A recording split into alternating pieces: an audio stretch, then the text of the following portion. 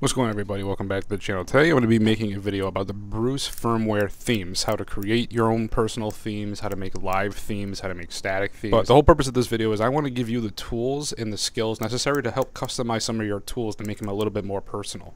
Now, if you don't want to make your own custom themes, I've already created themes for the Bruce community for free. Um, I have a Proton drive, a community drive, where you can download them for free. And in this video, I'm going to show you how to install and show you some of the ones I made for the community. So you grab it, download it to your device, and be ready to go. I'm also going to show you how to use the Bruce theme builder in this video. Um, it's the easiest way to create themes, but if you want to get a more personal touch and have it uh, look better on the device. You don't want to have any weird borders or anything like that. I'm going to show you how to customize the right size for your device to make sure your theme looks amazing. I'm going to show you how to use AI to create your custom images, how to create custom videos, which you're going to turn into GIFs, which you're going to resize them to fit the device and compress them to make them work smoothly. I'm also going to show you how to make custom boot videos and boot sounds. All right, I'm going to show you the easiest way first. So if you just want to download a theme and go on your way, this for you. So you're going to go on the Bruce website. You're going to get to this page. I'm going to leave a link in the description. You're going to see all the themes the community has built. So here's my theme. Uh, this is my entry in the contest. This is a second place winner here. Uh, if you click on my theme or anybody's theme in the community, you get a little download button to the left. You hit the download button, you get the exact file you need to install this theme on your device. Then all you have to do is upload this to an SD card or send it to your device over the air. And once it's on your device, you go over to config, go down to UI theme, SD card, scroll down and pick whatever theme that you want. On me, I got a whole bunch saved to my device, so I'm just gonna go pick a random one right now. All right, then you're gonna click on it. You're gonna click on JSON file, and boom, it will boot into the theme. So this is the easiest way to do it. You, uh, just go to either the Bruce website or go to my Proton Drive and grab a free theme. Now from experience, I would rather you use an SD card for this. whatever device that supports an SD card, pop out the SD card, download the theme to the SD card, and then pop it back in to the device and then boot it off that way. If you try doing over the web UI, it crashes constantly, especially if you're doing the bigger files like the GIF files that you just saw. I highly recommend, again, save yourself the time and aggravation. Just use the SD card way. So you're looking at the boot wave file. So this one says safety is an illusion. So what you can do here is take an MP3 file, convert it into a wave file, and whatever that little snippet is, it would actually play it before your device boots up. Just save it to the SD card or save it to the device itself and make sure it says boot.wave. Safety is an illusion.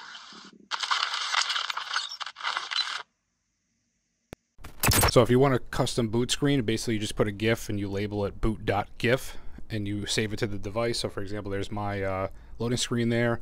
You're going to find the GIF file that you've saved to your computer. You're going to copy it and just paste it to your SD card.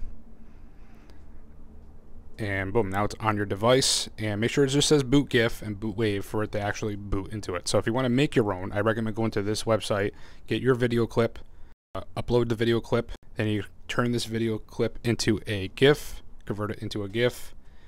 Once it's a GIF, you're going to want to resize it for, I know uh, the T-Embed by heart, so 320 by 170 is the dimensions. Then you're going to resize the GIF so it fits the device. And then I usually optimize it to compress it a little bit, and make the file size a little smaller. And after that, you just save it.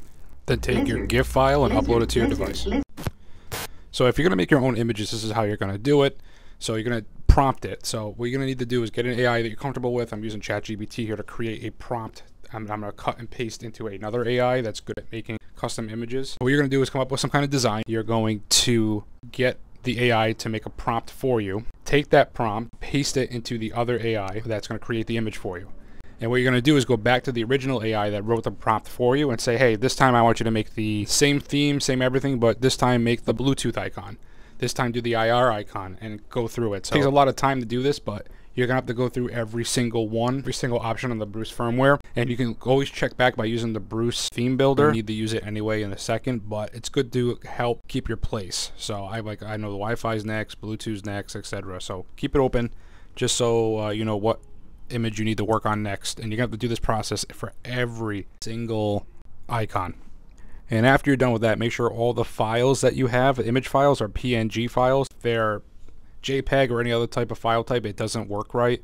Um, so make sure they're PNG files. If you need to convert them, have AI convert it for you or find some kind of converter for the file. Don't worry about sizing this time around because the Bruce theme builder will take care of all the sizing stuff for you. It will compile everything into a folder and that folder will contain a JSON file as well as the images that you just made but resized. In that, it's going all that JSON file does is tell the device, hey, if he's this person's on the Wi-Fi option, show this image. If you're on the Bluetooth option, show this image. It just basically directs the device. This is the file we're going to need to manipulate later to get those custom live animated themes to work.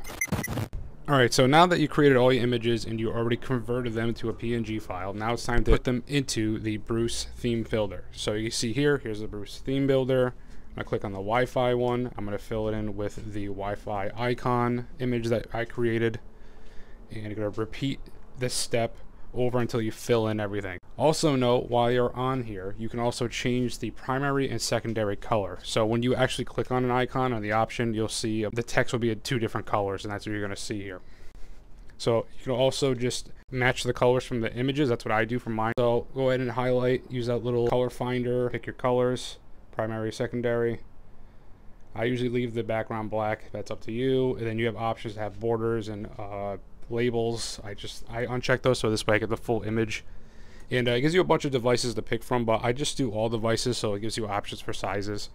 And uh, if you really want to customize the right fit, you have to go in to every single photo file and uh, actually size it correctly to whatever device you have. It's very time consuming, so if you want to just do it this way, this is probably better for you if you want to save time. But if you're someone like me that likes to make sure it fits better, just Google any type of image resizer and just use that and make correct size for your device. But that means you have to set up the configuration file, the JSON file yourself. And I'll show you how to set up the folder and the JSON file at the, the last part of this video after when we start talking about the video stuff. But right now I'm going to show you how to how to send the file and how to send files using the web UI.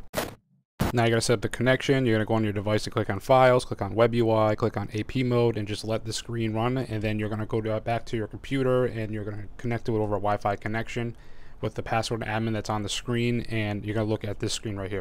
And once you make a connection with your Bruce device, you're to need to go to the browser and type in the IP address shown, and then you'll be able to see and access the Web UI. Once you're in the Web UI, you can send files in this demonstration, I'm going to show you how I send the, the, theme folder as well as the boot image. This is also where you could put the uh, boot audio as well if you want to send it over this way. Again, I prefer putting everything to the SD card and just plugging it into the device itself. I think it's better, and faster. But if you want to do it this way, you can. Um, you're going to see me grab the uh, boot image, a GIF file. I'm going to send it to the device over the web UI and I rename it to boot because if we don't it's not going to do anything and it looks for a uh, boot image called boot.gif so make sure it's labeled boot.gif Alright, now for the hard part. This is how you do the live animated theme. The same thing we did earlier with the images. You're going to be creating video prompts this time. And every time that you create a new icon video, you just tell the AI, now I want a Bluetooth one, now I want an IR one. Now, this isn't free. 90% of these text to video AI creation tools cost money. All the ones I've done cost money. So just keep that in mind. So after you're done making the video, we're going to go back to that site. We're going to turn the video into a GIF. Then you're going to find the download. You're going to upload it to this site. Click on upload. Now you're going to convert the video into a GIF. Once you're done with that, you're going to resize it to the appropriate size for your device. For again, T-Embed is 320 by 170. Resize the image. And once you're done with that, I usually optimize it. This is just going to compress it a little bit to make the file size a little smaller. As you see here, it's 2.7 megabytes. Once I do this little bit of uh, compression, it brings it down to 1.2 megabytes, which is a little bit easier to send files when they're smaller.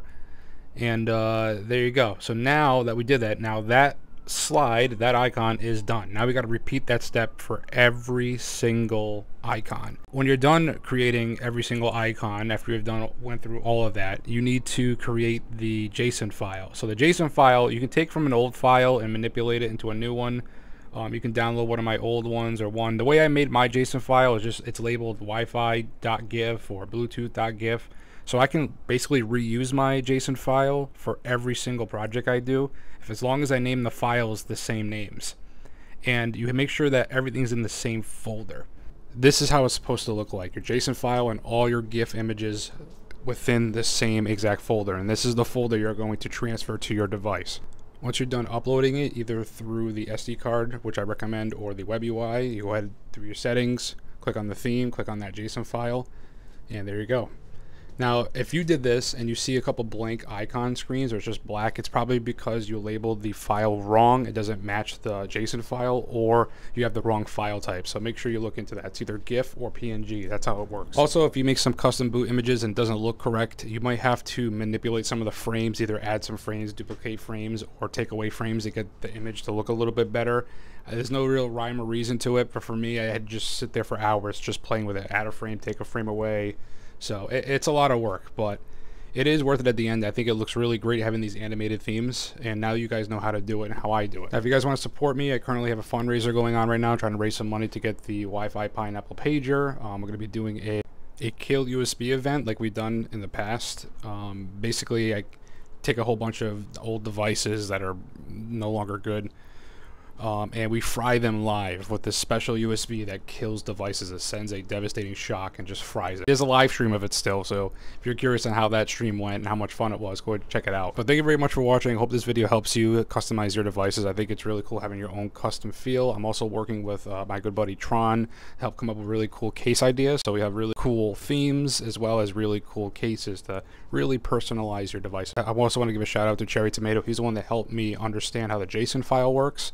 So he taught me, and now I'm teaching you. So that's how the community works. So go ahead and check out those guys. And that's it for this video. Thank you very much for watching. Let me know in the comment sections what you're going to be making. And do me a favor and remember that safety is an illusion.